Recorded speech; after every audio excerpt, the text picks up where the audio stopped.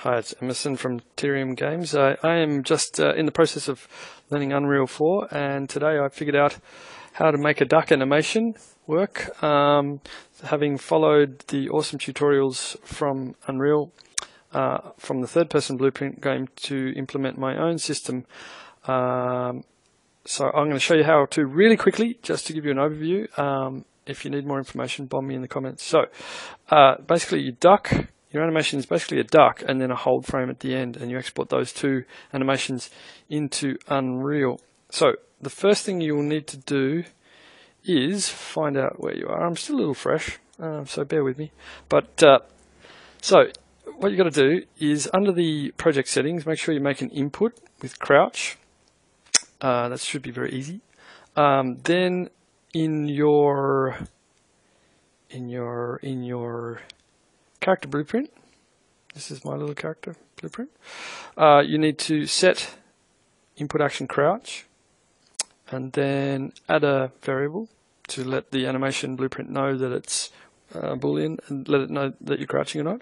And crouch is built in um, to Unreal. So crouch, uh, there's the action, action events for crouch, and then crouch and uncrouch are built in, and then you just make a little variable um, to to send that to the animation blueprint. Now this is what uh, the um, the animation setup looks like. So uh, basically, you may have seen, if you follow the tutorials, you see all this. But um, what you've got to do is, there is an is falling uh, function, but there's also is crouching. So you need to add a setter into the loop to cast to the to the character. Okay, yeah, pretty straightforward. That took me a little bit to figure out the uh, is crouching. Finding that kind of opened it up. Then in your state machine, the important thing, you've got your idle walk run set up with the speed. It's very similar to jump, except there's only two stages. Jump has jump start, then a ratio of um, of loop the animation until uh, until otherwise. Um, the time and remaining ratio. So can enter transition, so transition to the next stage. So the crouch is much the same. So you have is crouching fires, so it goes to crouch start, which is the crouch animation, which plays. Then the ratio to hold it on that last frame.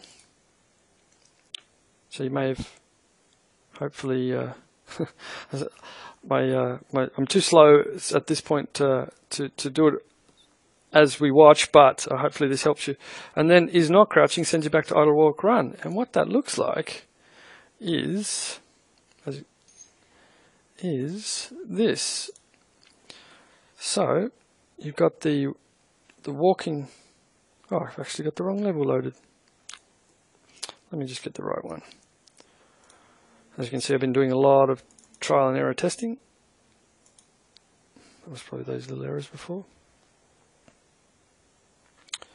So once that initializes, I'll show you. Uh, then what that looks like is, so you got the walking animation working and we've got a sprint. Uh, it doesn't look the, the best. It's really just a trial space to figure it out. And then the duck. So as you can see, using the blend space, there's the transition down and you can see that the, the little um, uh, sword twitching uh, that uh, as I hold the duck. So um, I'm doing this on my laptop.